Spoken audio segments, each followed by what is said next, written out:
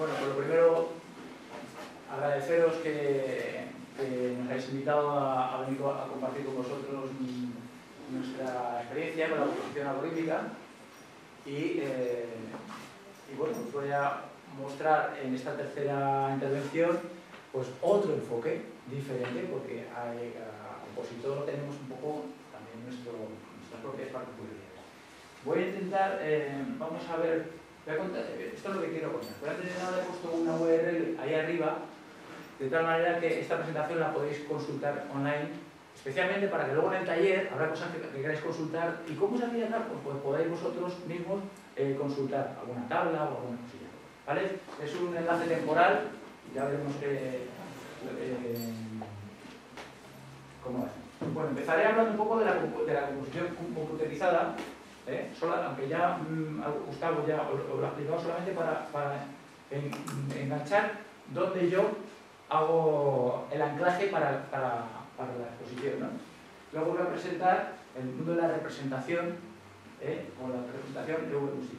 Y luego vamos a ver los tres elementos básicos a nivel musical que os voy a proponer, no los objetos dinámicos, luego los motivos, luego la sección musical. Esos son los conceptos claros que tenemos que sacar de, esta, de exposición. Y luego después vamos a ver una aplicación que se llama String Score y vamos a trabajar con ella en, la, en el taller. Es una aplicación que es online y, podemos tenerla. Ver un poco rápido, ¿eh? porque esta parte además, como hemos empezado así un poquito con retraso, pues la podéis consultar luego más, más, más, más mm, con más detalle. ¿no?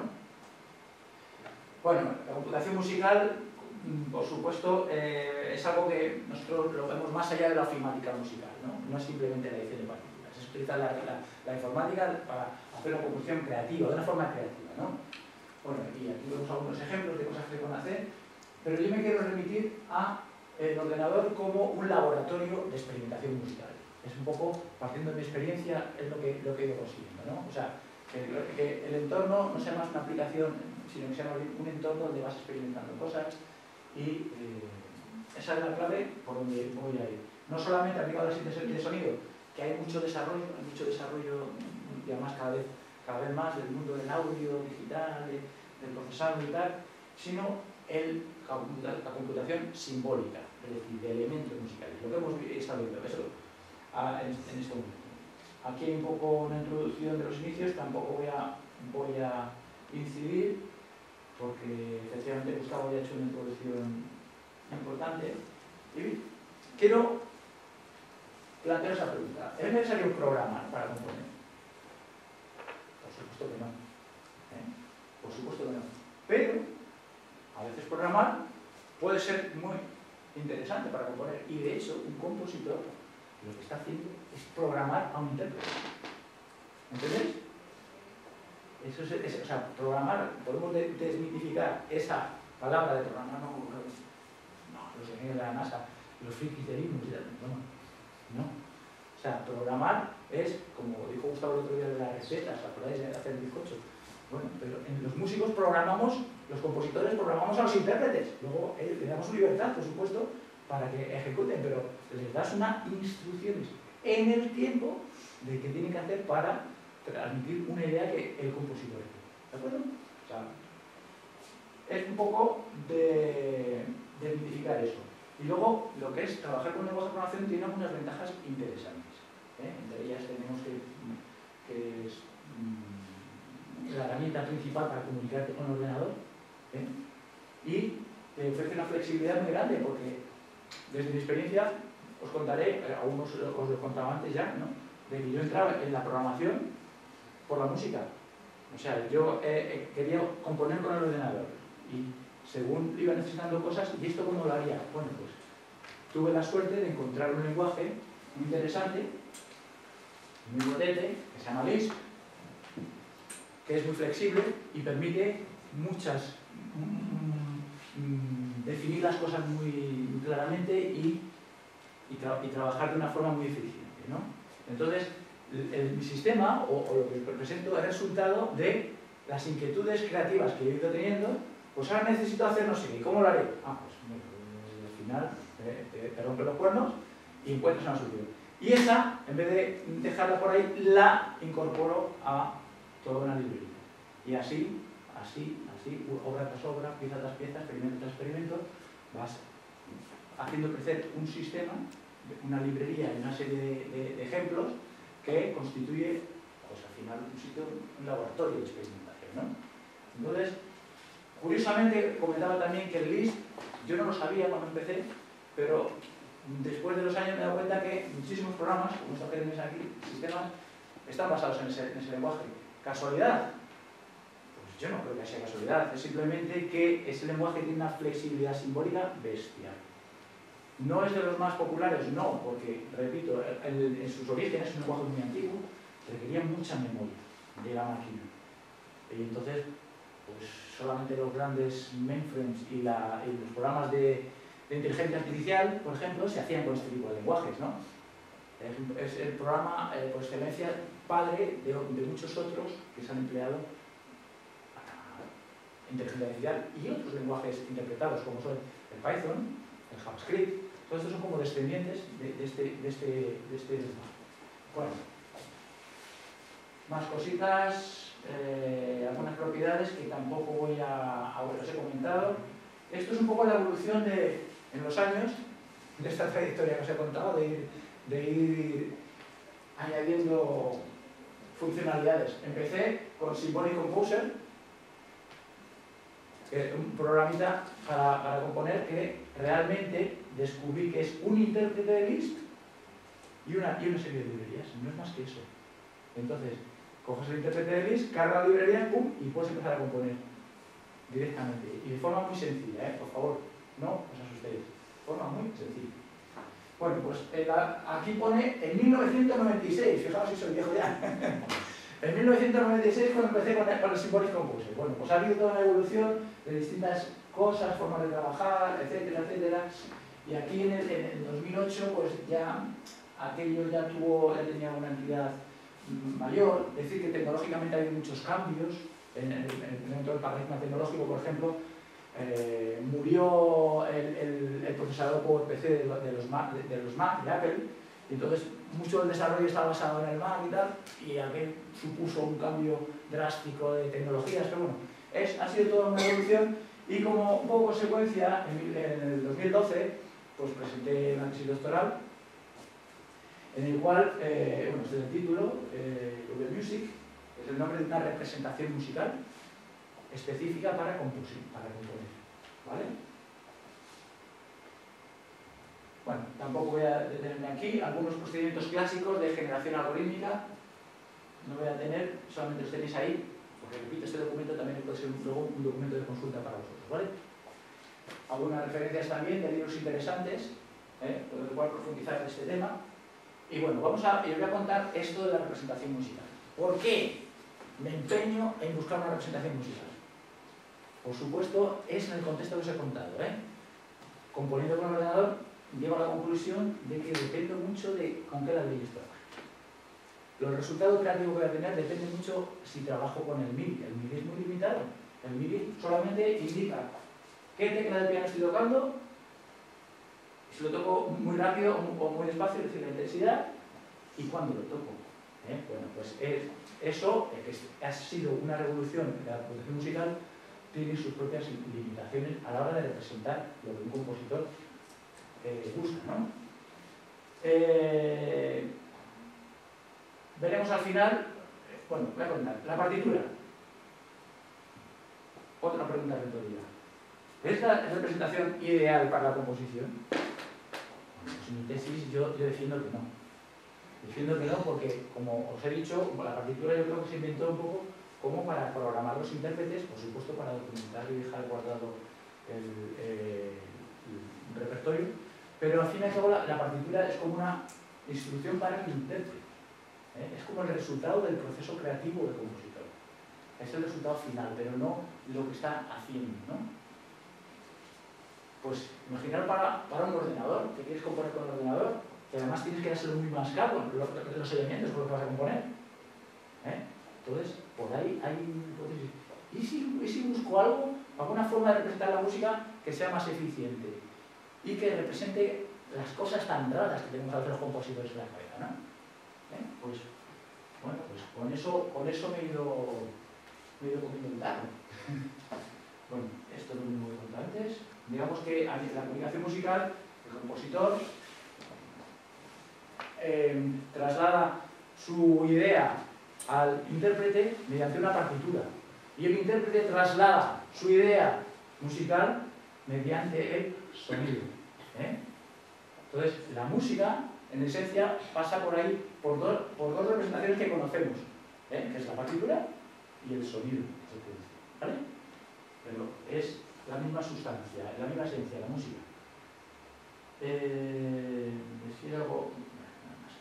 Bueno, detenerme también muy rápido en qué es lo que pasa por la cabeza de un compositor. ¿eh? Esto es un modelo, por supuesto, pero es una forma de explicar lo que, lo que hace un compositor. Trabaja en un mundo abstracto. Cada, compositor tiene su, su, mundo interno y además a partir del siglo XX cada uno se inventa su propio mundo y tienes que invitar al, oyente a que venga a tu mundo para, para no solamente recibir una, una sensación eh, de percepción musical, sino también eh, invitarle a que venga a, a, a, comprender un poco cuál ha sido tu intención y, tu mundo, ¿no? Eso es complejo. Trabajamos en un, mundo muy abstracto. Y en ese mundo abstracto, pues trabajamos con bocetos, con guiones, con dibujos, con mecanismos, tenemos un esquema formal, un esquema armónico, que eso no existe directamente en la partitura. Se puede analizar, analizar la partitura y otra vez decompones aquellos objetos, aquellos elementos. ¿De acuerdo? Bueno, y la forma de trabajo pues es siempre ir probando una idea, una abstracción. ¿Podemos el puntero o no? no? Bueno, ¿cuál es la Una idea se abstrae, lo intentamos implementar, es decir, hacemos una partitura, se prueba, se ensaya, oye, pues mira, puedo hacer una modificación y vuelvo a, a corregir así hasta que la obra queda depurada, por ejemplo. Pues este proceso, cuando estamos trabajando con un ordenador, es todavía más, más rápido. ¿Por qué? Porque tenemos una pequeña limitación, primero aquí, en la abstracción, y luego en la implementación. En la abstracción tenemos que definir claramente, para darle al ordenador, cuáles son esos objetos abstractos con los cuales trabajamos. y luego, también, a la hora de traducir una partitura, pues tenemos que coger una, una partitura y ponerle nota por nota, y tardar muchísimo tiempo en obtener una, interpretación de aquella idea. ¿no? Bueno, pues ese es un poco el objetivo y sería como transformar aquellas ideas que tiene el compositor, llevárselas al intérprete, pero mientras tanto hay un montón de elementos por aquí, ¿eh? abstracciones, metáforas, eh, guiones, eh, armonía, algoritmos, eh, muchas cosas hay por ahí. Entonces la composición puede verse también como un desarrollo desde el nivel abstracto hasta la partitura. Sería una forma de ver la composición. Entonces la partitura fatal, por ejemplo, no expresa el acorde como tal, sino que es un conjunto de notas y tú analizas y, entiendes que eso es un acorde en inversión con la, con añadida, por ejemplo. ¿no? Pero eso, lo deduces, pero no está el elemento como tal explícito, sino que los motivos, estructuras formales, los grados diatónicos, por ejemplo, los grados diatónicos tampoco están en la partitura. Es, lo decir que esto es el segundo grado o el séptimo grado, tienes que estudiar antes para tener esa capacidad de extraer de ahí una escala o, una tonalidad y de ahí decidir decir que es el segundo grado. ¿Entendéis, no? Bueno, son cosas que faltan y que sin embargo las usa el compositor. ¿Vale? Bueno, y otra, viniendo de la ingeniería del conocimiento, que es un poco en el, marco de la inteligencia artificial, donde yo he desarrollado una tesis, hay una, una conclusión muy interesante a la cual me voy a que es que la, cuando ponemos a las máquinas a hacer cosas creativas, hay una limitación intrínseca que es en esa representación. Cómo representamos las cosas van a, van limitar esa condición. Entonces, podemos buscar o intentar buscar una representación que sea más, flexible. La que yo os propongo, o la que yo propongo, es que, que, sea, que trabaje en muchos niveles, en todos aquellos niveles que, que trabaje tanto en la partitura como en desarrollos superiores, que trabaje a nivel de sonido o de, eventos de, audio, algo que sea con la máxima flexibilidad, pero que también sea muy sencillo. Repito, para mayores detalles, detalles hay el documento de la tesis que también podéis consultarlo para ver todas estas cosillas.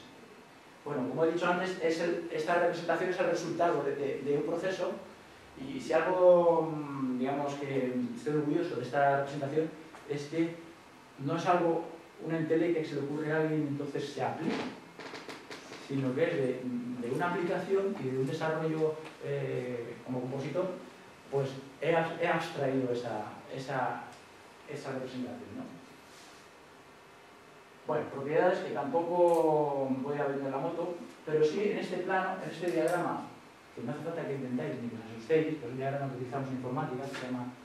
Eh, bueno, es un, es un diagrama de, los objetos, es un diagrama que ayuda mucho a, definir los objetos que hay en, un sistema informativo. Bueno, pues decir que hay aquí los, tres, los dos elementos básicos de esta representación, que es el evento, el evento, que también hay event, macroeventos, eventos que generan luego eventos también, y el objeto dinámico.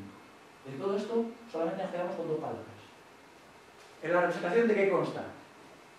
más cosas, pero bueno. eventos y objetos dinámicos. ¿Vale? Lo resumimos así.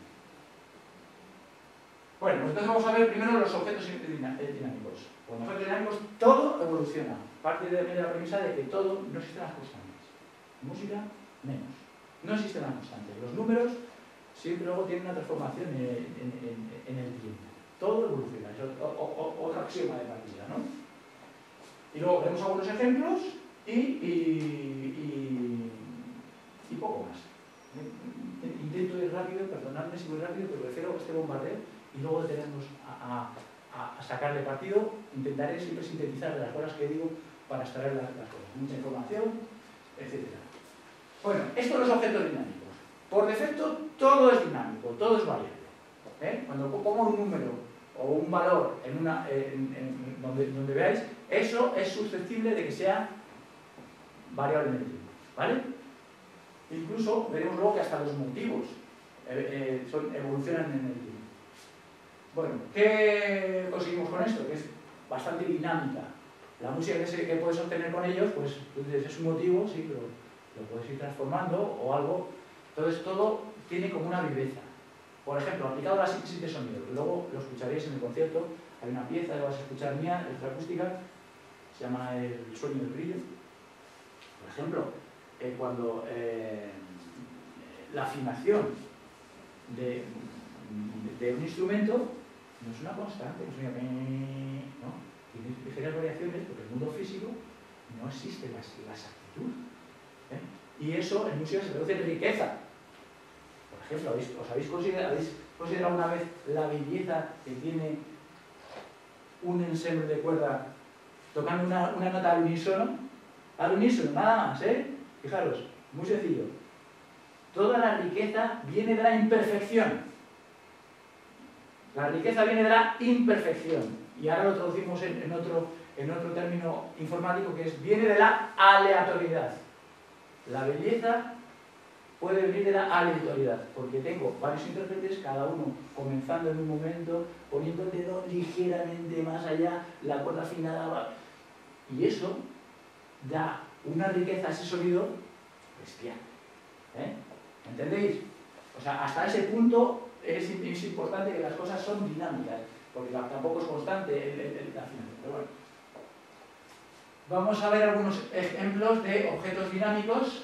Solamente decir esta cosilla más de aquí, que en esa aleatoriedad, yo uso la aleatoriedad muchísimo, y cuando escuché la pieza veréis que hay muchas cosas aleatorias, pero es una aleatoriedad controlada siempre, siempre.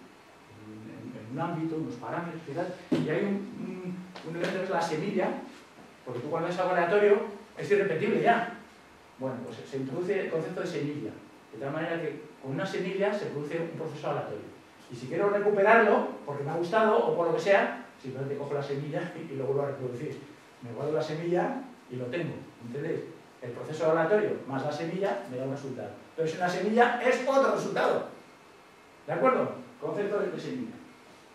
Bueno, eh, y vamos a ver algunos ejemplos simplemente para mostraros eh, algunos objetos dinámicos y, cómo son. Esto simplemente, el primero es una línea que va, una línea, vamos a intentar leer un poco el código así, para ver lo fácil que es.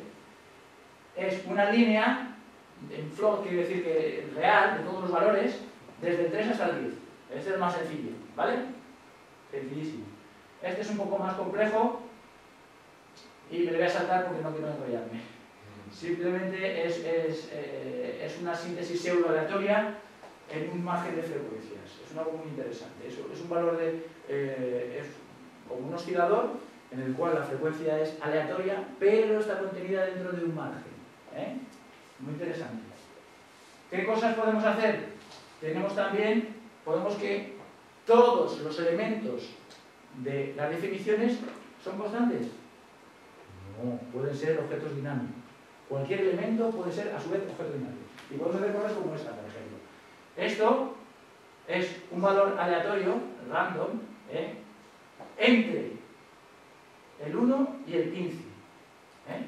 Vamos, espera, Si pincho el ratón, no me hace esto. Mirad, al fin y al cabo es una línea que va de 0 del 1 al 15, ¿lo veis? A la cual se tiene una dispersión una dispersión que yo controlo. ¿eh? Si os fijáis, no, no, se controla la amplitud, la, la, distancia que hay hasta la línea, sino la dispersión. Aquí está muy disperso, incluso los valores centrales son mínimos, son mayores los, los, los, los extremos, y en el extremo opuesto sucede lo contrario, muchos en, en, el punto central y muy poquitos en los extremos. Es un control de distribución. Bueno, aquí tenemos otro ejemplo, por ejemplo, ese es otro operador estos nombres se toman de otro, de otro bien, tienen un origen, o sea, no, no lo elegí yo, pero es muy interesante. Es un valor comprendido entre dos, entre dos valores y que tiene una distribución logarítmica, es decir, que los valores bajos están más poblados que los valores altos. ¿eh? ¿Por qué logarítmico? No quiero enrollarme, pero a nivel físico, en el mundo físico y en música, casi todo eh, funciona logarítmicamente. La intensidad del sonido, por ejemplo una escala lineal, sino es logarítmica. El, pitch, que es la afinación, las frecuencias no es eh, eh, mm, frecuencia eh, lineal, sino es logarítmica, siempre es el doble. En octava es el doble de la frecuencia. En la siguiente octava es el, doble. por eso el logarítmico es muy interesante en música. Bueno, no quiero enrollarme mucho, pero sí enseñaros ya visualmente aquí, podéis consultarlo luego. Te quería hacer una pregunta. ¿Todos estos son objetos ya propios de Web Music? Algunos sí y otros los estoy definiendo ahora mismo. Por ejemplo, mira, este, este, que, este es uno compuesto, el que, hay ahora, este de aquí. ¿Cuál? ¿OP? O... Mira, OP es un, es un generador genérico que lo que hace es cualquier función list, cualquiera, aplicarla como un objeto dinámico. es, es una función de list. OP es un objeto dinámico que toma como, como parámetro una función list. ¿Entiendes? Entonces, aquí está, está diciendo, voy a coger la suma ¿Lo veis ahí? un pelín más alto. Voy a coger el operador suma y le voy a sumar un objeto dinámico, todo es dinámico, recordad. Un objeto dinámico que, ¿recordáis este? ¿Qué puede ser el sí? El seno, ¿no? El seno, ¿no? Es un seno, normalmente el objeto dinámico, el segundo valor es el tipo de objeto, la continuidad, ¿no? Y dice, es un seno que tiene, eh, bueno, que tiene eh, un valor de 0,5, fijaros que va entre 0,5 y menos 5, ¿vale? Que tiene cuatro periodos, pues veis aquí los cuatro periodos, ¿vale? Y empieza con una fase 0. ¿eh? ¿Dónde empieza ese? ¿no? Ese es el seno. A ese le voy a sumar otro operador que además es aleatorio y que tiene una, un, un control de distribución bipolar, que dice a los dos lados del valor, ¿no? Entre más 1 y menos 1. Y el control de la distribución es primero no me lo distribuyas, primero un valor muy pequeño, 0, 0,01, y al final muy distribuido. Distribución, eh, eh, Una distribución uniforme, ¿vale? De. Entonces, fijaos como al principio hay poca de poca y va creciendo esa distribución. ¿De acuerdo? Bueno, en este otro ejemplo vemos que el valor, en este caso, aquí introduzco eh, la cuantización. Bueno, es una palabra que eh, me parece que Luis dijo discretización o, es más, quizá más español, ¿no? Aquí en el, en el arroz cogemos por todos lados, pero bueno, eh, es, es el valor de que solamente no es una variable continua, sino que son, es discreta, ¿vale? Entonces solamente hay posibles unos valores. En este caso, todos aquellos que son múltiplos de un tercio. Y fijaros cómo se ve aquí como más digital, si os dais cuenta, la distribución es como más homogénea todo, porque los valores posibles, fijaros por ejemplo aquí en esta zona de aquí, ¿eh? están acotados. Bueno, esto a nivel musical pues, ofrece muchas posibilidades. Bueno, otro tipo de objetos. Los ruidos, por ejemplo, son interesantísimos ¿eh? para la observación. El ruido blanco. El ruido blanco es todas las frecuencias por igual. Es, es el proceso más caótico que hay. ¿Eh? Todo por igual, cualquier valor vale. y, uno detrás del otro. ¿Eh? Sería este, este, esta forma de definirlo, simplemente un valor aleatorio entre, por ejemplo, menos 1 y más 1. El ruido rosa, esto ya es el, el, padre, o sea, esto ya es la maravilla del ruido. Es el ruido natural. El otro ruido es un ruido artificial, no existe en la naturaleza, ese caos tan, tan, tan, tan, tan ridículo, o sea, casi, casi ridículo dicho, no existe. Sin embargo, el ruido rosa sí existe.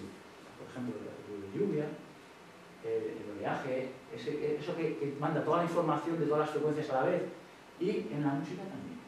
Entonces es una cosa como más natural. Es, de los que más me gusta a mí como generadores de, um, algorítmicos.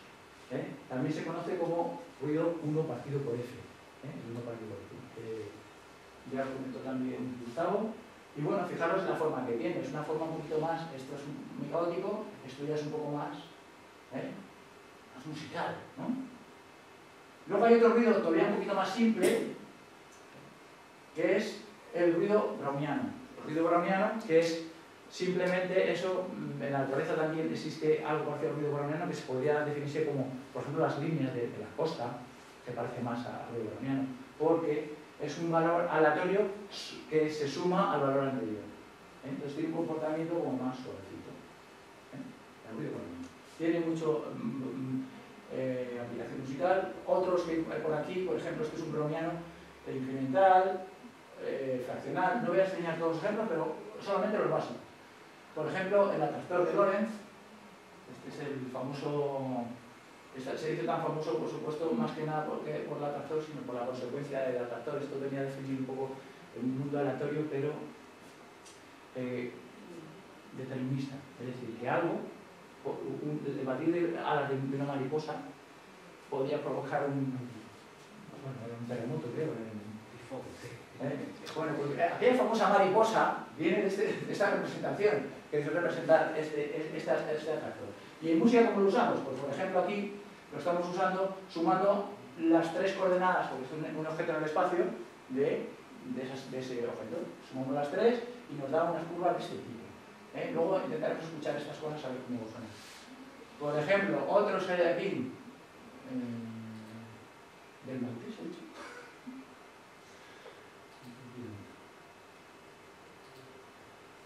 Bueno, no voy a contaros del Morse 2 porque es el, que ha aplicado Gustavo, pero bueno, es, tiene esta forma.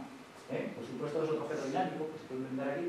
Y eh, por traducir un poco, para hacer una correspondencia con lo de Gustavo, ¿os acordáis que tenía un contador para ir viendo, valor a valor?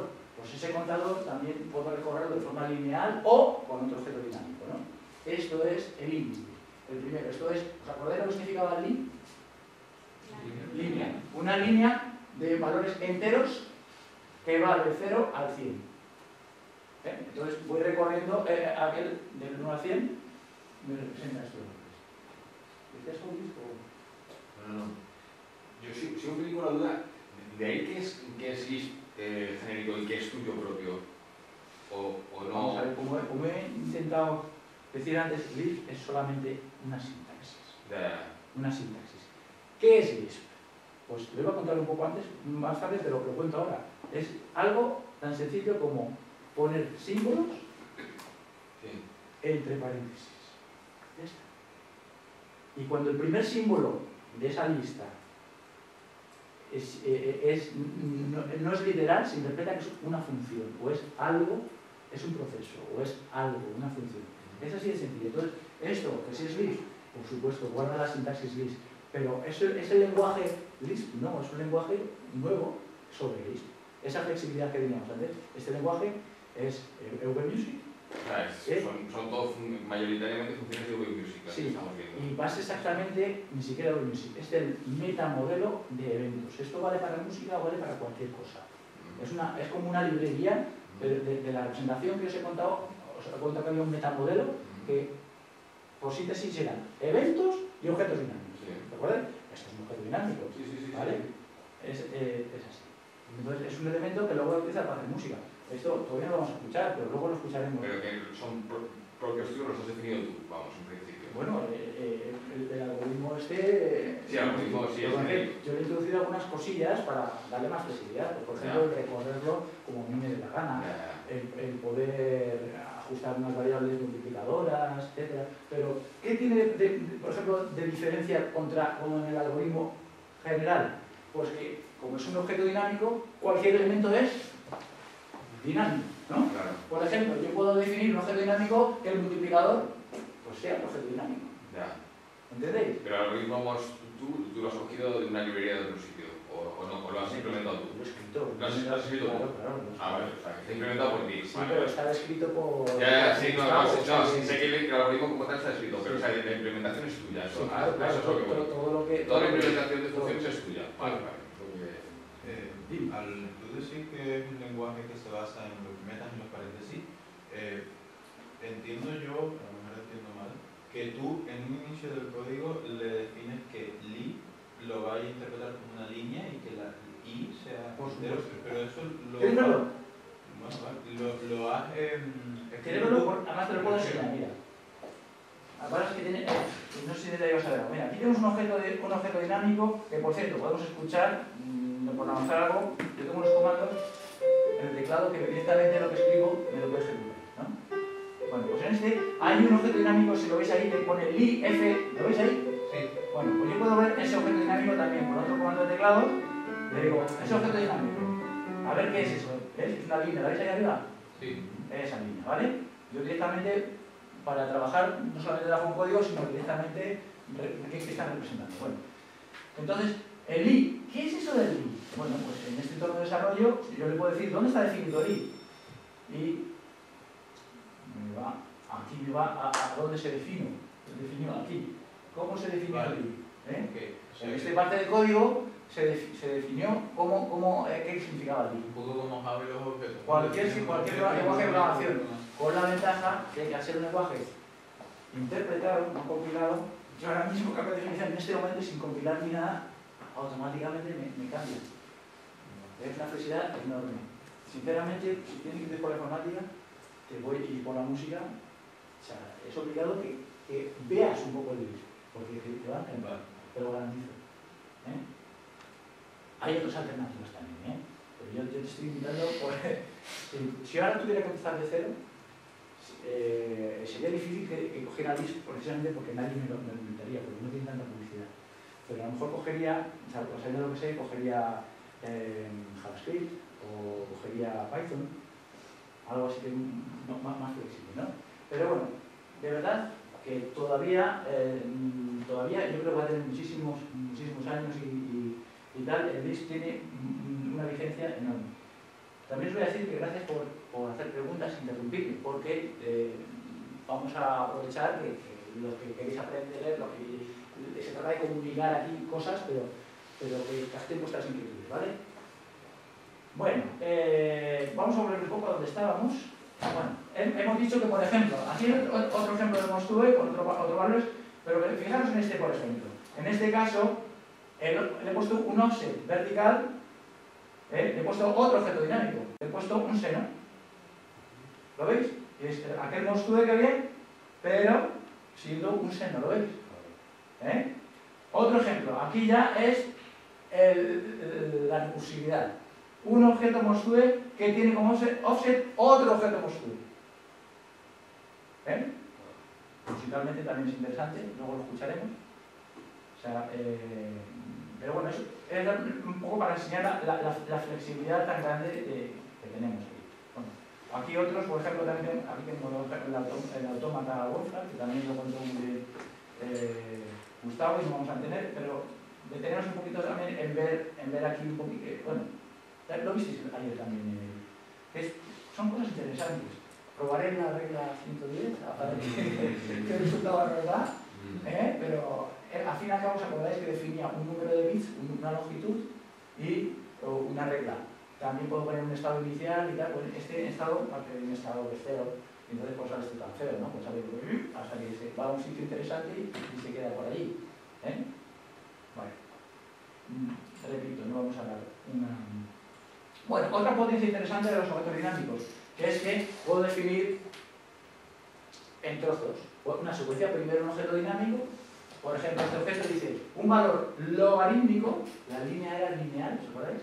Para un logaritmo que va desde el 1 hasta el 10, para arriba. Luego tenemos una línea que va desde el 10 hasta el 1, pero no todos los valores, sino cuantizados a valores de un cuarto. ¿Veis? Pues eso sale así, de esta forma. ¿Lo veis? El siguiente, un valor aleatorio entre dos valores. El primer valor es una línea que va del 1 al 10. Una línea del 1 al 10. ¿La veis aquí la línea? ¿No está dibujada? Sí, ¿no? Y la otra línea es del 1 al 3. Del 1 al 3. Pues un valor aleatorio entre 3. ¿Eh? Esto es una, muy compleja de definir, pero es para, daros un ejemplo de, cómo se puede hacer. Y ahora, por ejemplo, en el resto vamos a poner la suma de una línea del 6 al 1, como desde aquí para acá, algo así, eh, un seno que va cambiando la frecuencia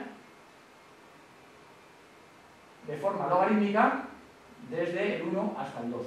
Es decir, que primero va como más despacio y luego hacia adelante. ¿Lo veis, no?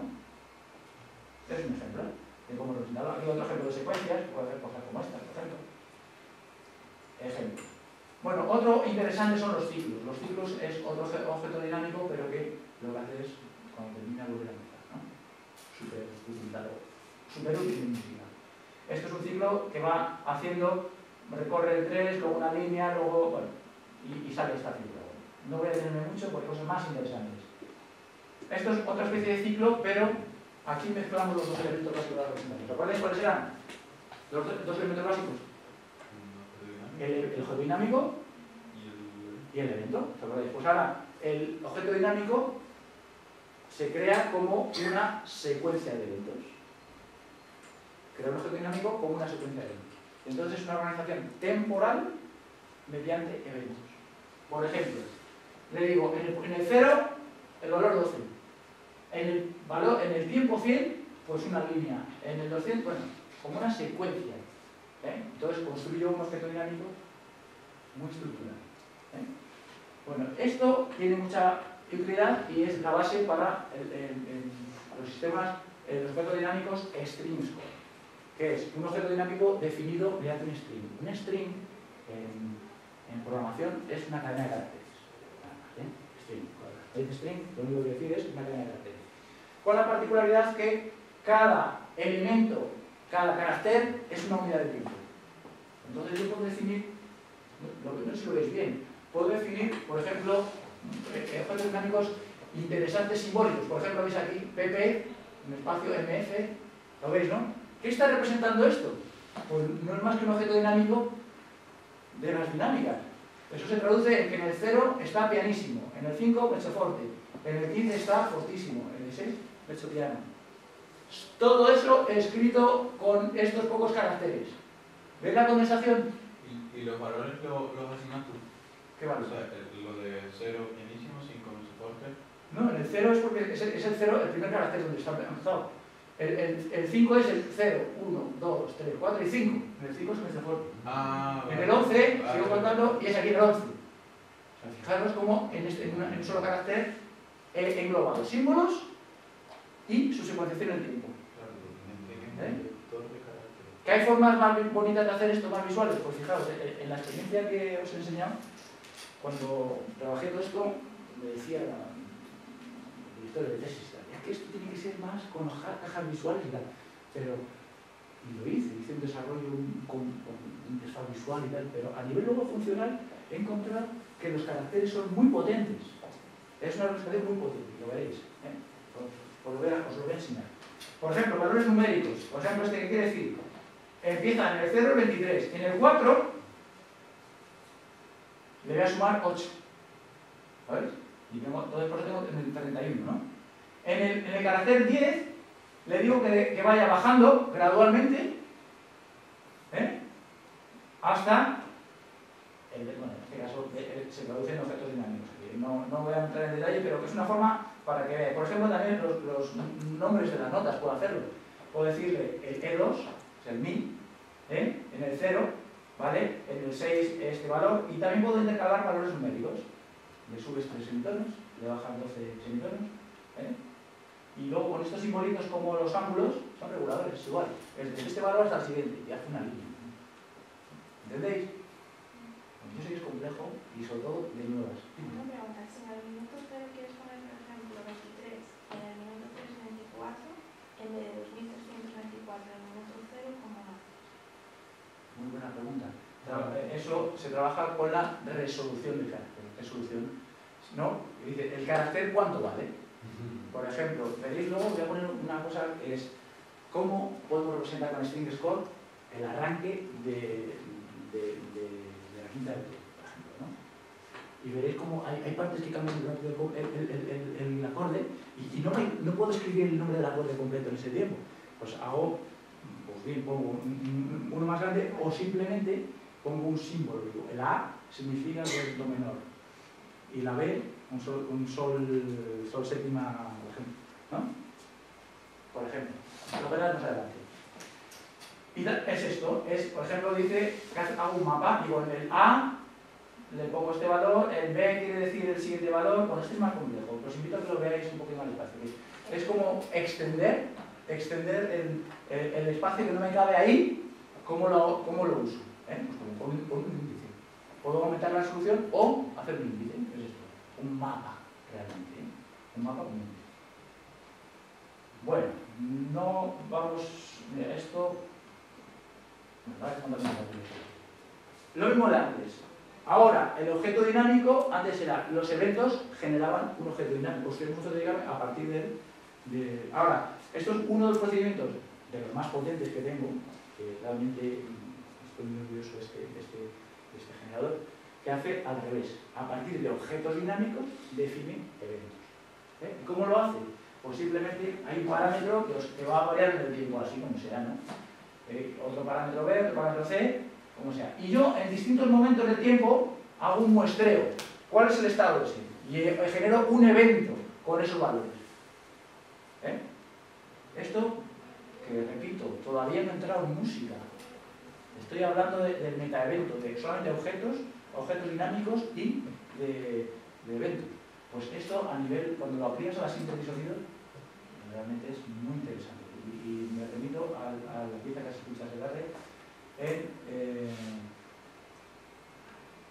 esto mismo, hecho de una forma visual, es un programa que se llama C-Sound. Es decir, que C-Sound es un lenguaje para hacer síntesis de sonido. Pero es un poco, mm, es muy potente a la hora de definir los, los sintetizadores, pero a la hora de organizar los eventos en, el tiempo, pues es bastante... Es tedioso, vamos a decirlo así, ¿no? Pues de una forma visual, este programa permite hacerlo ah, simplemente arrojando elementos sobre, sobre un canvas. Que si fijáis, fijaos, eh, alguien, fijaros la dimensión vertical, ¿veis? El colorido este de 3, 2, 3, 2, ¿a qué suena? Al piano. Eh, simplemente está, están alojados los eventos dentro del espectro del piano. ¿vale? La máquina es bastante compleja porque puedes ver el espectro de lo que sale, etcétera, cosas muchas cositas y que tenía un screencast que os lo invito también a que pinchéis para que lo veáis. Y el resultado, esta tarde. El, lo que vamos a el- la se llama El sueño del día. Bueno, hemos visto hasta ahora los objetos dinámicos, los eventos. Y ahora vamos a pasar a eventos, a elementos musicales. Hasta ahora todavía no habíamos hablado de música. ¿eh? Entonces, que en la pieza fundamental, el elemento básico de construcción musical, en este, en este modelo, obviamente, es el motivo. Pues puedo hacer cualquier cosa, pero en este modelo que os presento hoy, de String Score, es el motivo. Tenemos otro, otro elemento principal que va a ser luego la sección. Motivo y sección. ¿Se acuerdan de la presentación? Tenemos eventos y, y objetos dinámicos y, y musicales tenemos los motivos y la sección. ¿Vale? Lo vamos a hacer. ¿Y qué es un motivo? Pues es más que una secuencia de notas, ¿vale? Pero eh, a nivel de... mm, aquí lo vamos a el motivo de otra forma, que es como dos, como dos categorías eh, overlap, eh, o sea, em, una encima de otra, ¿no? Que son los ritmos y las alturas.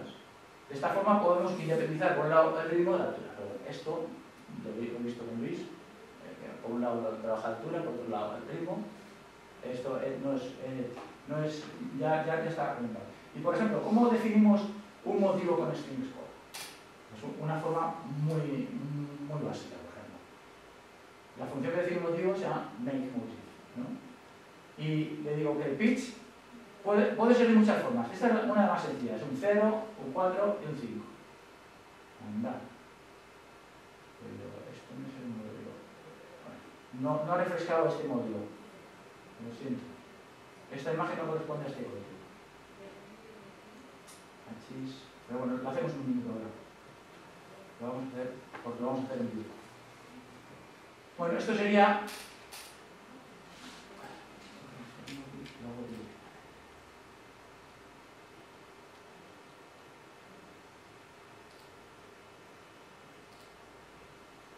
Esta es la versión online de- del. Bueno, mi voz en un pozo, no me a internet. Esto es lo que yo me estaba temiendo, luego, mientras vemos un vídeo, intentaré hacerlo. Vale. Ahora a ver cómo lo solucionamos. Pero bueno, no, no, no me voy a detener mucho, a ver si veo un motivo sencillo, ¿sabes? Motivo sencillo. No, no lo hacemos online, luego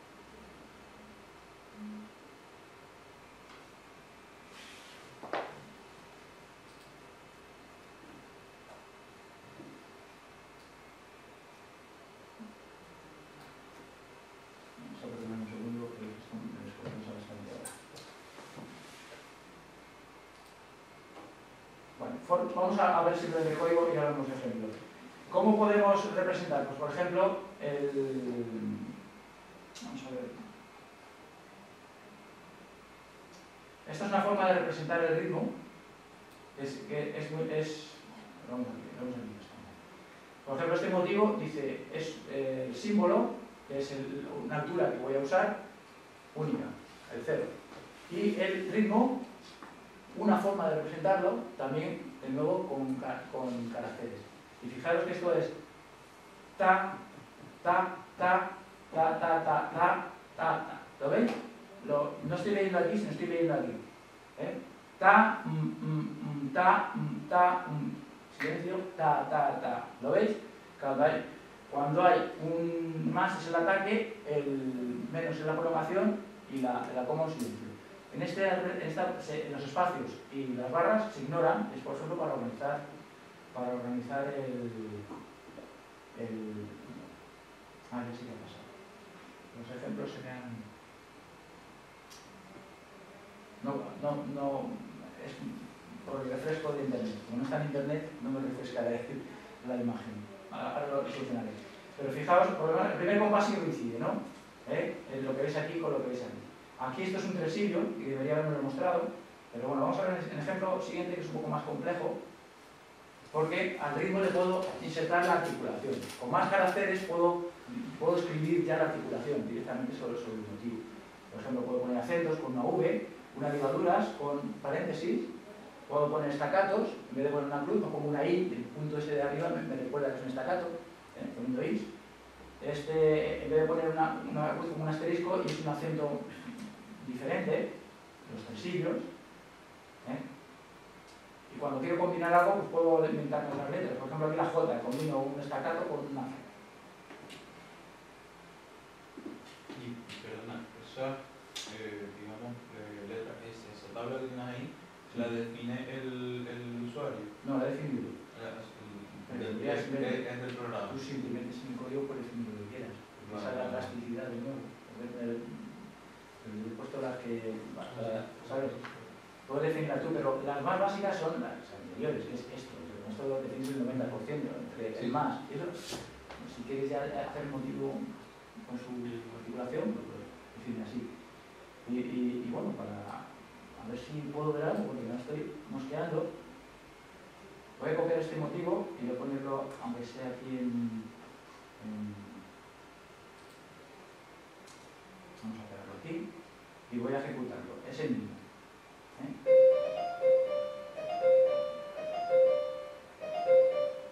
Por ahí no tengo que salir también el, aquí el representante musical y la acústica la habéis oído, ¿no? O sea, lo ha hecho en tiempo real lo que estábamos haciendo. Lo que pasa es que en vez de hacerlo con la nota de partida, lo que cambiado respecto al ejemplo. Pero bueno, tampoco es, es un, esta va sobre mi y el otro va sobre un do. Depende de dónde vaya. Eh, estos son los caracteres, no me voy a detener, pero sí recordaos que cuando queréis experimentar y queréis consultar esta tabla, acordaos que es la diapositiva número 41. Entonces, ¿cómo va la diapositiva 41? Pues podemos darle a la T y ir aquí al 41, por ejemplo. En ritmo, la articulación, tabla de A la T. La T para que sea la tabla de contenidos. Ah, Si tenéis el, esta, esto online, ahora mismo, yo tengo ahí. pues dale a la T y, y, y busca el 41. Sí, sí, sí, ¿eh? Y lo pinchas y esa da la ¿Hay alguna forma de descargárselo completo esto? No, basta. No, no creo que la haya. O sea, bueno, sí, hay muchas formas. ¿no? Ya, pero esto no- no lo pero dice. yo te recomiendo que lo, tengas online para, Ah, para que.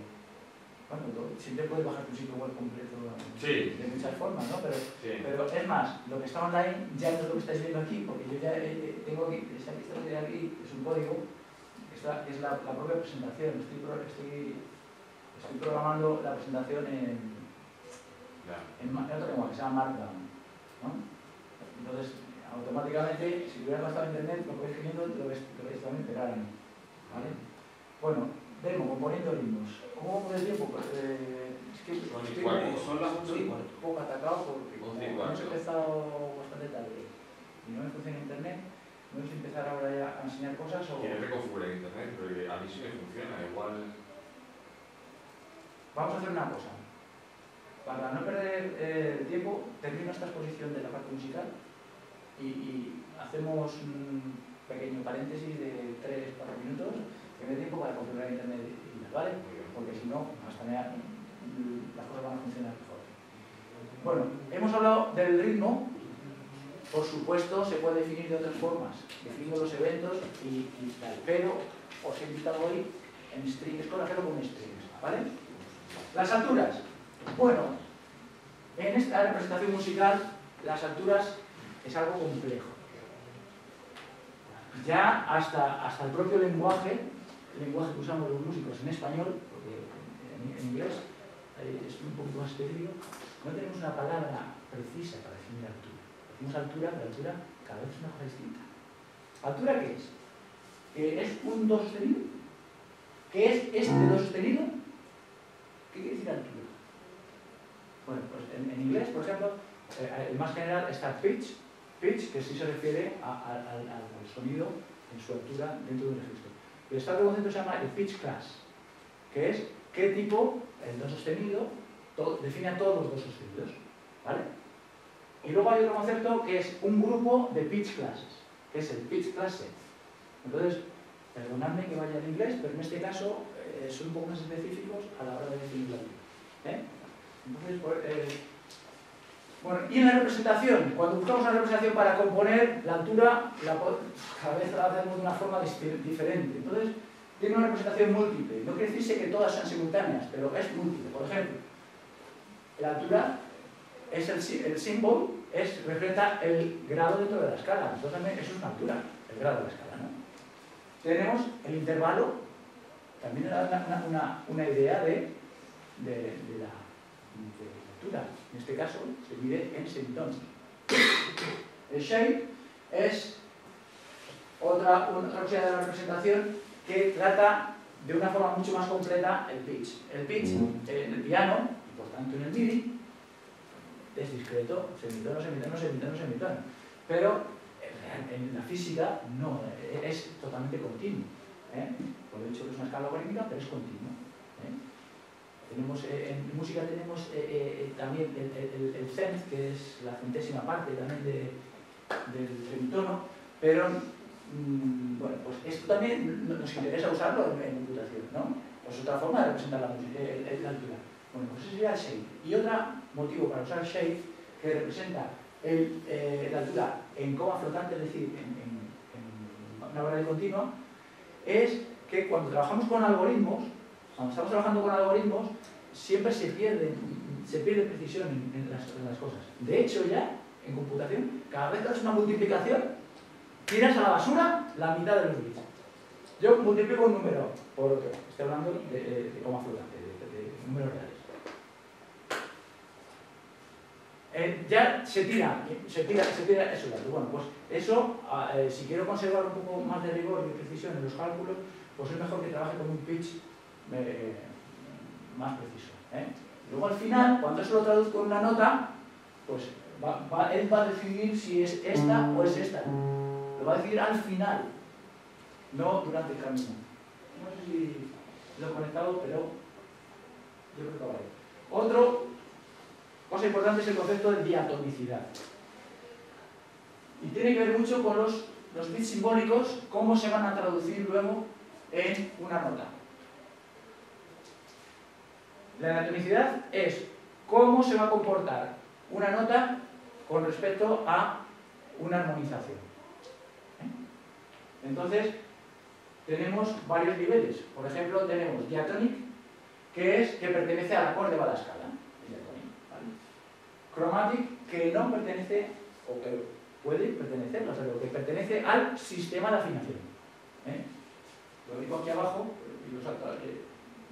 Eh, counter diatonic es que se esfuerza a que no pertenezca al acorde. Una nota extraña, pero extraña sí o sí. ¿eh?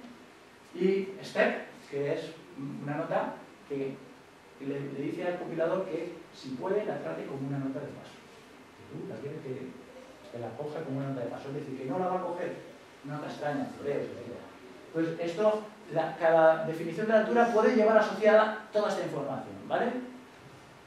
Y el proceso de armonización, que también puede ser muy, muy breve, pero entra en esto que comentamos antes de, de, de la selección de qué altura vamos a coger. La primera selección es cromática, es decir, elegimos el sistema de afinación. En, este, en piano, hoy día tenemos un sistema igualmente temperado. ¿Vale? Ese es el sistema, la primera selección de pitches. Solamente eso. Segunda selección, la escala. De esos, qué pitch clases vamos a, tomar como escala. Y luego, dentro de eso también tenemos otros que puede ser dentro o puede estar, si queremos fuera, pero lo normal es que acorde esté dentro de la escala. Eso, eso lo dice la teoría. Elegimos una cosa. O sea, como hay como tres niveles de armonización. ¿eh? Esto permite armonizar en sistemas que no son el, el, temperado, claro. A ver, y vamos a escuchar algunos ejemplos. Estos los tengo copiados aquí también. Y, ahora sí que vamos a escuchar. Estos unos ejemplos que que son estudiados. Bueno, definimos un motivo directamente como una, lista cíclica de alturas. Bueno, pues esto directamente es un sol, si, la, sol, re, sol, la. Fijaos que aquí pongo el registro, sol 4, y el siguiente es el más cercano. ¿eh? El, algoritmo dice el que sea más cercano. ¿Vale? Y el ritmo, pues este, vamos a verlo. Este. A ver si dejo esta ventanita por aquí a la vista. De alguna forma para que no nos moleste mucho. Bueno, otra forma, por ejemplo, introducir un acorde, es poner símbolos entre paréntesis. ¿eh? En mitad del motivo, pues y además este motivo es de, de, de lo que va a tocar eh, Gustavo, hay una pieza que se llama Flaming 2, que este es el, motivo del acompañamiento, ¿vale? Entonces es un acorde, porque hace un bajo y aquí hace un... es el que está haciendo el. Pues fijaros, está definido de esta forma. Otra forma de definir es, por ejemplo, con grados. Estos son los grados de una escala, que por defecto va a tomar mayor, por, por defecto, si no dices nada, te toma siempre una. ¿Lo veis que son los grados? ¿Vale? Y también puede ser eh, este, por relación intervalica. Sería o semitonos.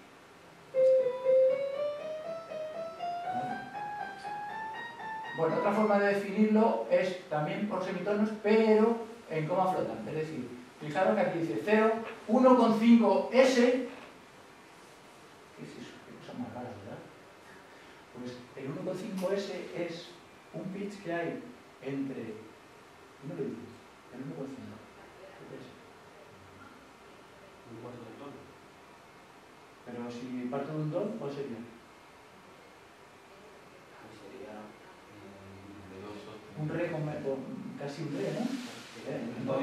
Entre, el, entre el re y el do sostenido. Vale, y además le especifico que es una S, quiere decir que esto es una nota de paso. ¿eh? Puede ser una nota de paso. ¿eh? No quiere decir, a veces pertenece al acorde, entonces vale, pero en general es como una transición. Aquí 3 3,51. Tal, y por esos números, pues porque he visto que luego el profesor armónico me interesa más que esté más cerca de tal que de otro. ¿Vale? Pongo el 3 y pruebo, luego el 3,5, para- pero a veces el 3,5 puede ser 3 o puede ser 4 en función de tal. Pues a lo mejor, según voy trabajando, me gusta más, un poquito más. Pues entonces, es el motivo. Es el motivo. Vamos a escucharlo también. Ah, bueno, ese- tengo, tengo el anterior.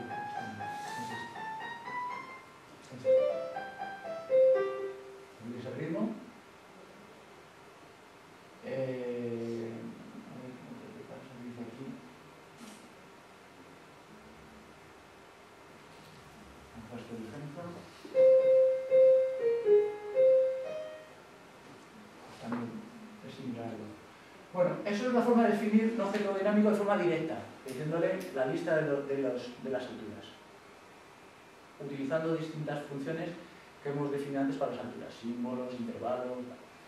Y ahora vamos a hacer simplemente partiendo de un objeto dinámico. Vamos a usar un objeto dinámico para definir las alturas. Por ejemplo, ¿os acordáis que, que, a qué decir esto? Li F4860. ¿Qué será? Eso son notas MIDI, ¿no? Supongo, ¿no?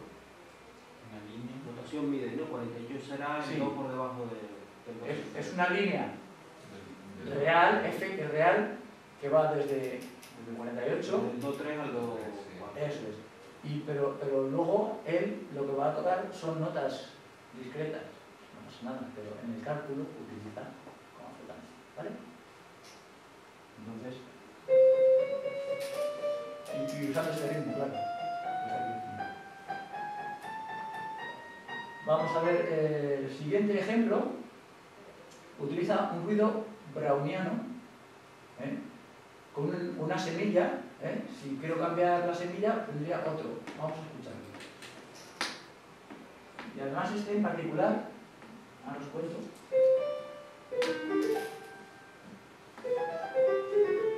Gustavo lo va a reconocer.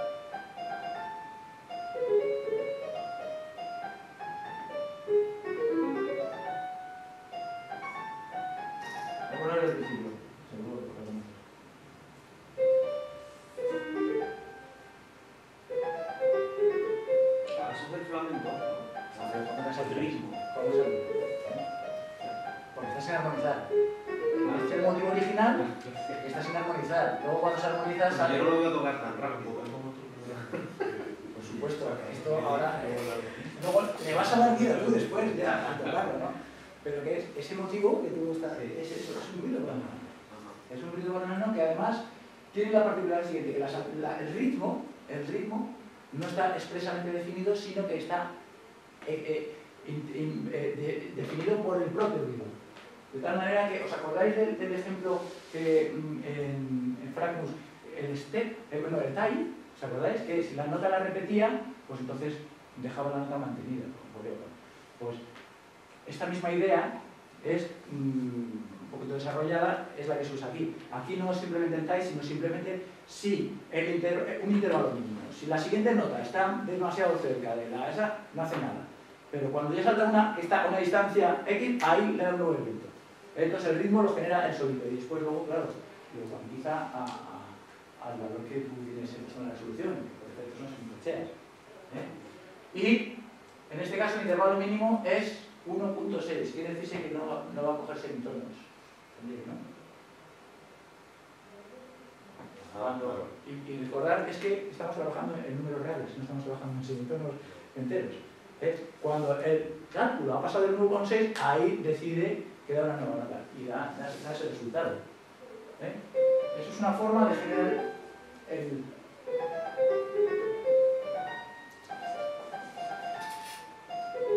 El con nano también muy musical, ¿eh?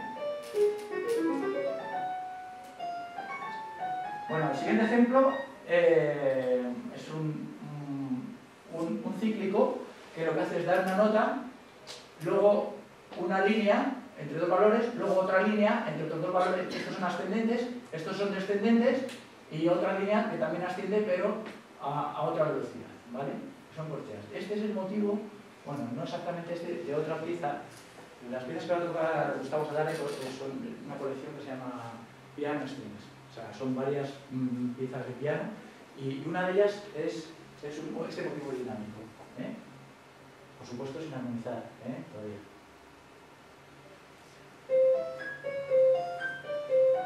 Fijaros que son cuatro notas, la primera siempre el do y, una va bajando, la otra va subiendo. A ver si, mira, ahí ya tenéis la partitura. Esta va, va bajando, se va subiendo.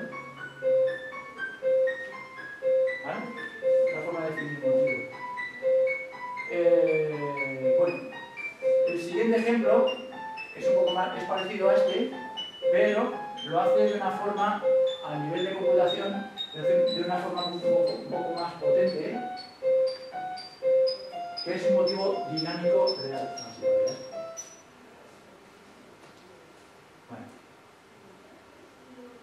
Ah, bueno, si es que lo único que he hecho ha sido eh, hacer el... Vamos a verlo. Eh, os he dicho que podía también visualizar el objeto dinámico. El dinámico este no. Ahora vamos a, no vamos a meternos en, en, en, Bueno, vamos a volver a, la presentación.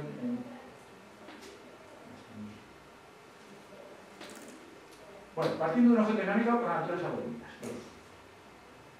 Hemos puesto los ejemplos de dinámicos, algorítmicos el adaptativo armónico, este no lo hemos hecho. Pero lo hago en un momento. Quiere decirse que, igual que hemos establecido la forma para crear un nuevo elemento,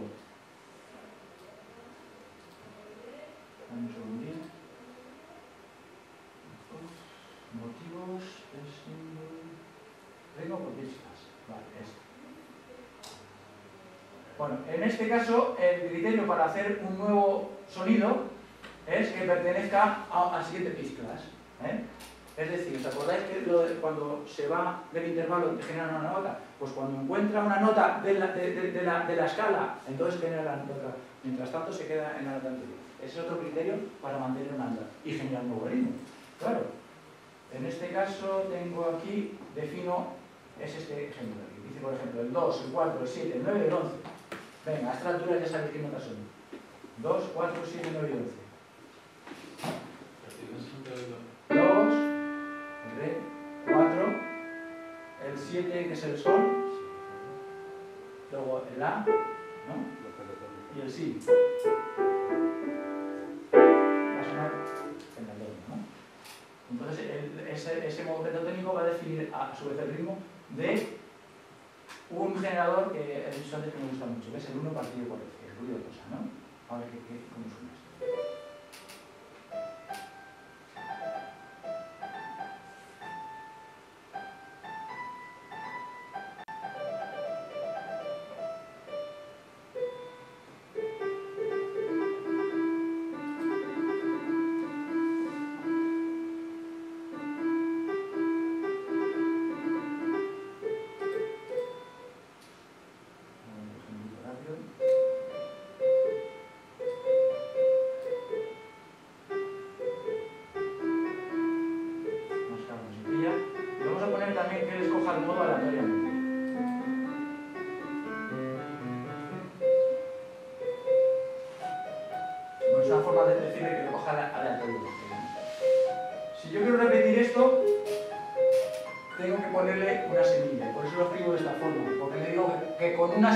Semilla, en este caso sin semilla, es decir, que con la nada, escriba un número. Decidme un número, venga. Cualquiera. 0,348. 7. Bueno, ahora lo compuesto Gustavo. Con el ruido fractal, ¿eh? Por supuesto, el ruido va a ser aleatorio, pero generado por lo que ha dicho Gustavo, y, por y el modo también va a ser aleatorio, pero también. Todo va a ser aleatorio que nazca, nazca de eso.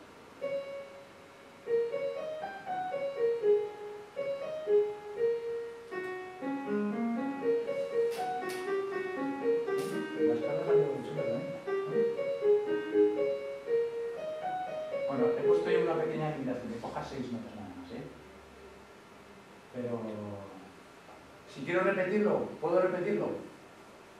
O el proceso se ha muerto como el de antes. Ahora sí, porque le he puesto una semilla. Y ahora si le vuelvo a pedir, yo ya tengo otra vez ese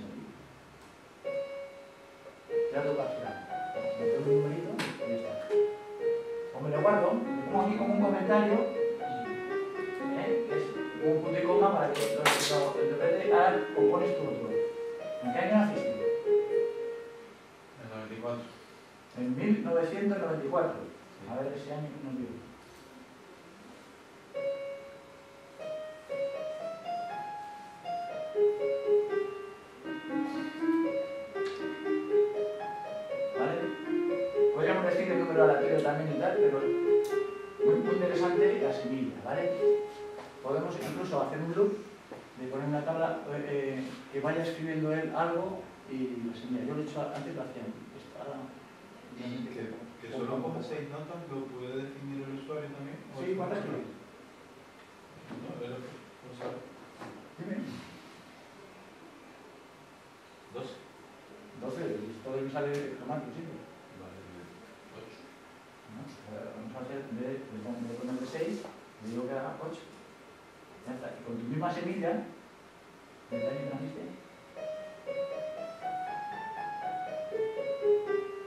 Que es, es la misma curva que antes, pero ahora genera más notas, porque te encuentra dentro del modo más notas. Eso guarda lo que luego me interesa. ¿Te interesa eso? ¿Te interesa? Ahí, ah.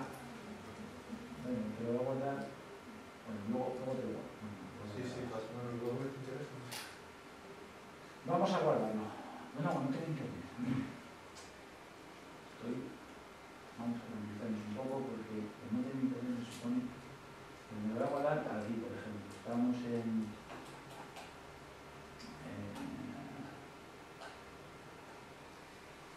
¿Cómo te llamas? Roberto.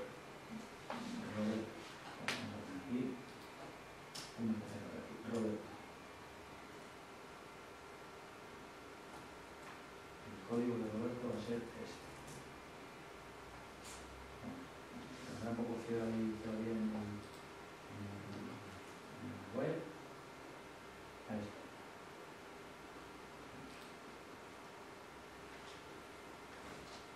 Ahí está. Luego, luego lo ponemos más bonito, ¿eh? Pásame. Ahí está guardado.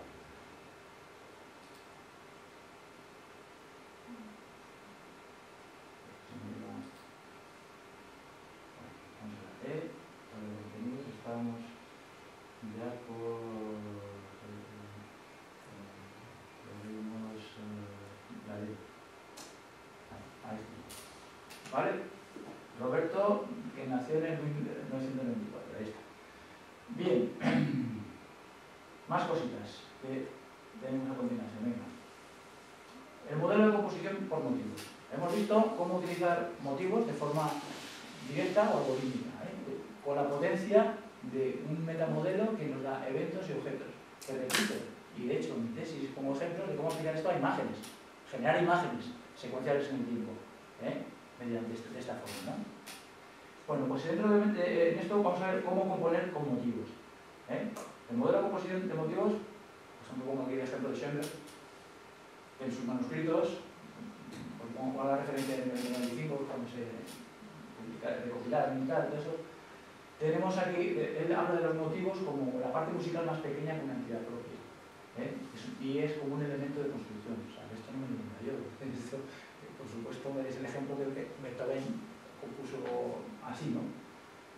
Y luego aparece directamente o bien transformado, pero se reconoce, ¿vale? O sea, al concepto de transformación también. Las alturas, dice Schoenberg también, una doble cualidad. Intervalo, que es el dibujo melódico, y también el armónico. Él lo llamaba así, pero eh, hemos hablado de pitch class, ¿eh? que nos da esa, idea.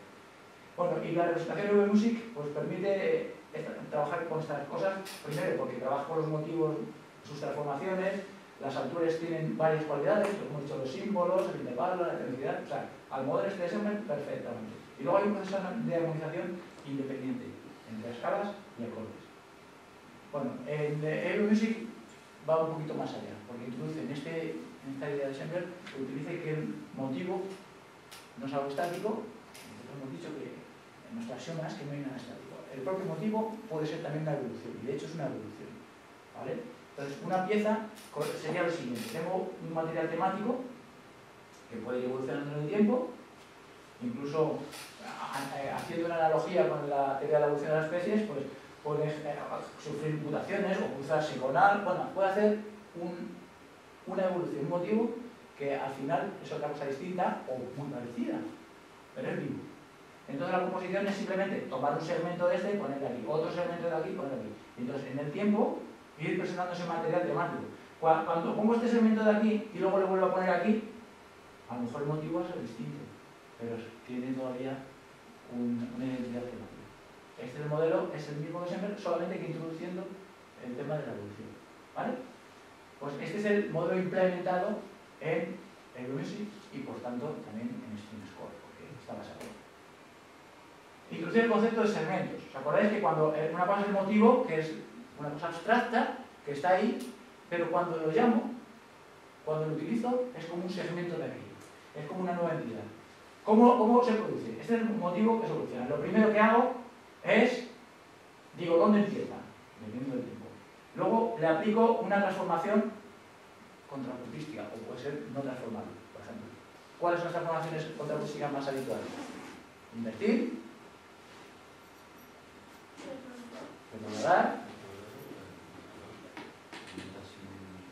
aumentar, disminuir, esos son los más clásicos. O sea, algunos más intro- introducimos aquí, pero esos están. Luego, ¿qué se le hace a, ese segmento? Se rellena la duración, se corrige la, duración. Por ejemplo, si el segmento es así de corto, pero quiero rellenar todo esto, pues bien puedo hacer un ciclo, o bien puedo prolongar.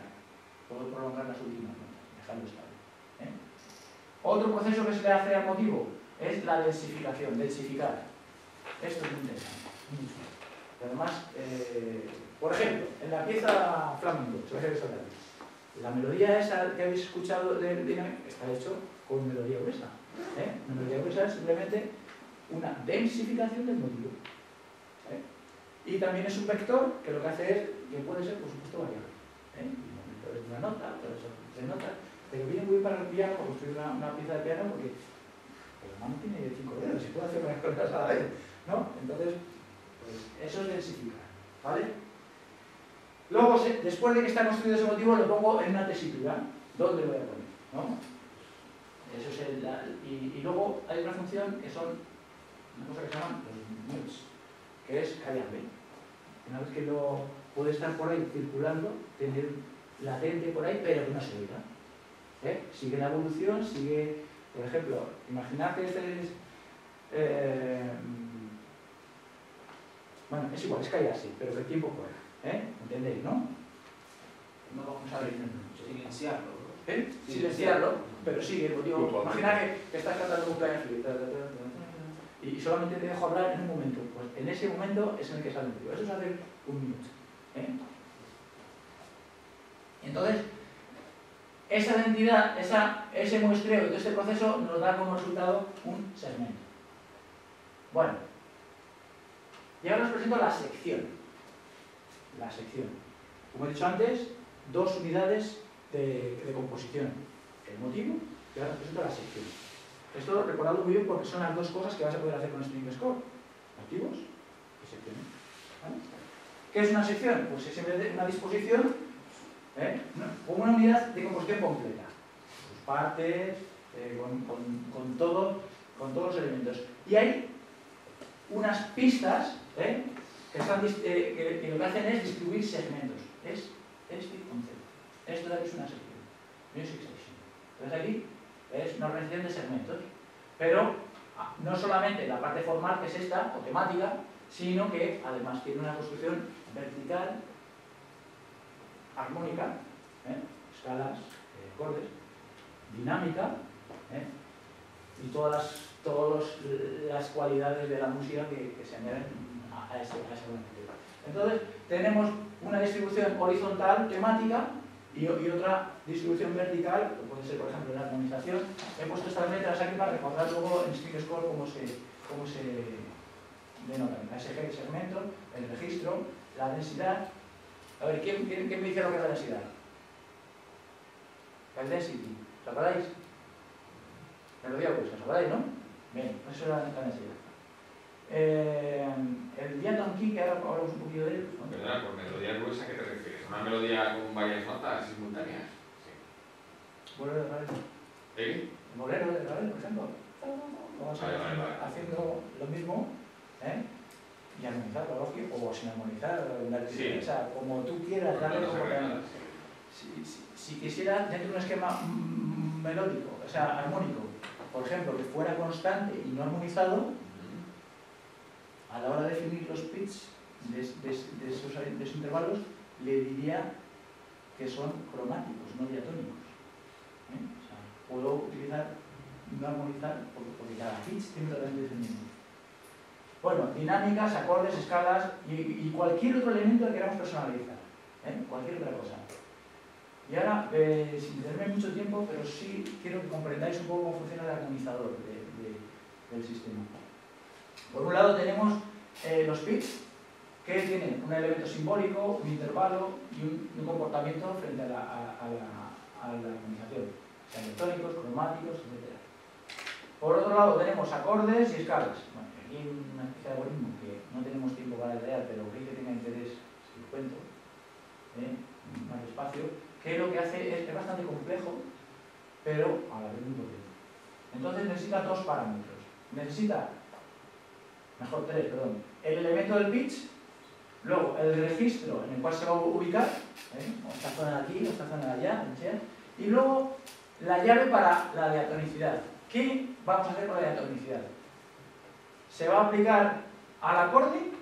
¿Se va a aplicar a la escala? ¿Se va a aplicar al bajo del acorde? Por ejemplo, yo le puedo decir que, que aunque el acorde que esté definido eh, sea, sea- una, una- una- inversión, que tenga el bajo en sí, por ejemplo, yo puedo referenciarme al bajo directamente, porque un acorde es algo más que tres notas, es un pitch class set que tiene unas características, tiene, bueno, tiene muchas, no voy a detenerme, pero una de ellas es el bajo, el bajo. Más detalles, eh, preguntar y en la tesis tenéis todo detalladísimo, supuesto. Bueno, recapitulando algunos elementos musicales. Hemos dicho los objetos dinámicos que funcionan eh, para el tiempo, esto es el metamodelo.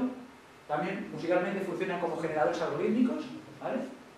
Los motivos y segmentos, ¿os acordáis? El motivo que evoluciona y cuando cojo ese motivo se convierte en un segmento. En principio sencillo, pero puede complicarse si queremos. Tenemos también las alturas que son simbólicas, ¿acordáis? Podemos trabajar con grados, con intervalos, en pitch class, que sean diatónico, etc. Y la sección musical, que es una unidad completa. He introducido aquí también el pitch class set, que lo contaba antes, que básicamente hay dos tipos. Los acordes y las. Cuando hablamos de escala, eh, digamos que en nuestra teoría musical que nosotros estudiamos es más, más, más concreto decir el modo y, el, y, y sobre la nota sobre el cual se pone el modo. ¿eh?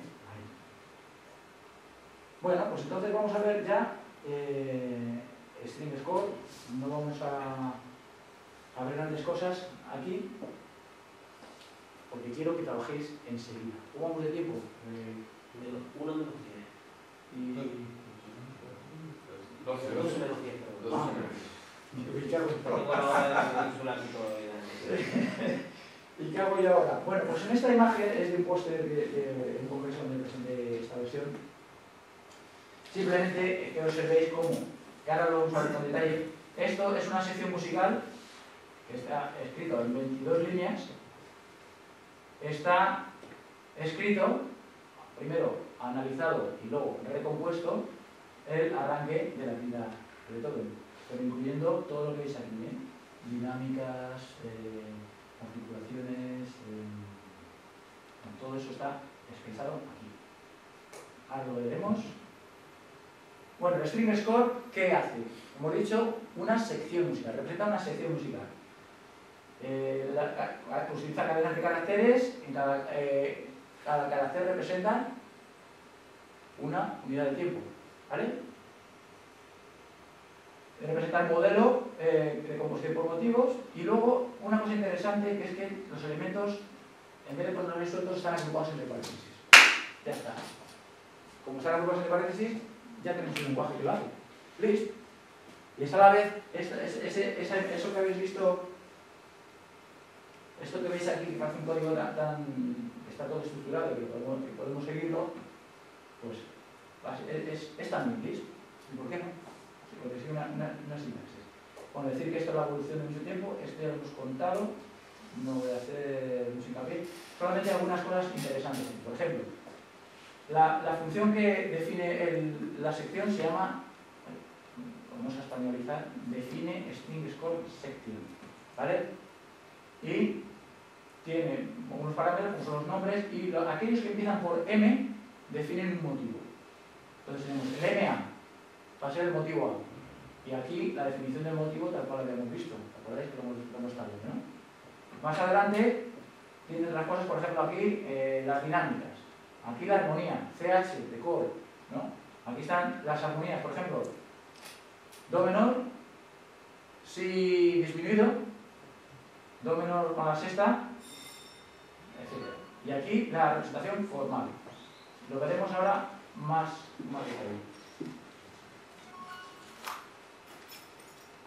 De aquí voy a, voy a resaltar dos cositas porque son mucha información. Dos cositas. Primero, en una sección tenemos la información, de, tenemos la información estructural, de cómo está estructurada, pero también las definiciones.